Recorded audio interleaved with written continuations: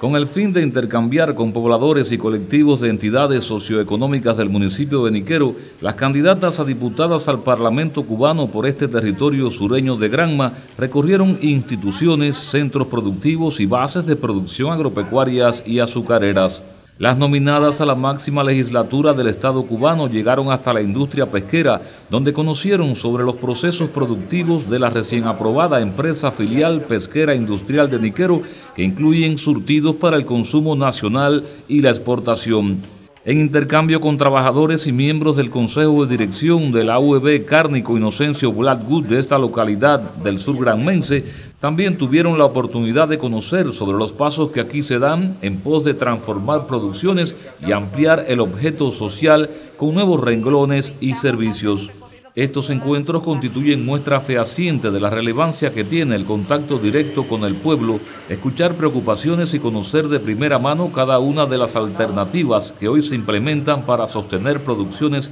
en entidades de vital importancia para la alimentación. Sin duda son jornadas que nos permiten actualizarnos sobre todo de cómo marcha la vida en el municipio,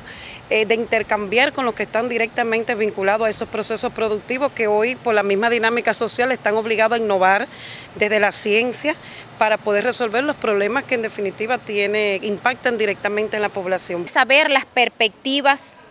que tienen estos trabajadores de avanzar. Eh, sabemos que hay un grupo de problemas, de situaciones con el tema de combustible, eh, con energía, con todas estas cosas, pero vemos el amor, el, el esmero con que estos trabajadores se esfuerzan para poder sacar adelante, bueno, eh, todas estas situaciones que tenemos. Las integrantes de la recién aprobada candidatura al Parlamento cubano por el municipio de Niquero de igual forma recorrieron áreas del Hospital Gelacio Calaña y contactaron con profesionales del sector de la salud que tienen un rol fundamental en programas de atención sanitaria. En las unidades básicas de producción cooperativas Agua 2 y Guaymarón, evaluaron la implementación de las 93 medidas de recuperación de la industria azucarera, donde han sido imprescindibles las alternativas en la fabricación de dulces, conservas y otros surtidos a partir de potencialidades de la producción agrícola local. A partir de ahí se transmiten experiencias, pero también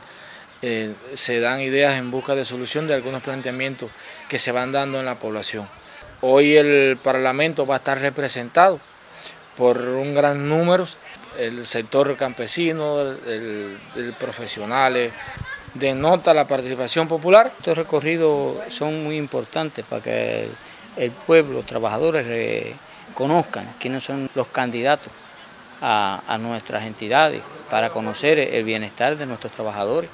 y así saber cómo eh, realmente están las unidades productoras y nuestros trabajadores. Constituyen estos espacios de intercambio una valiosa oportunidad para que pobladores de este sureño municipio tengan un diálogo franco con las candidatas a diputadas, un contacto necesario y útil con el pueblo que irá a las urnas el próximo 26 de marzo a las elecciones de sus representantes a la Asamblea Nacional del Poder Popular. Inés Castro Machado y Julio César Vega para el sistema informativo de la televisión cubana.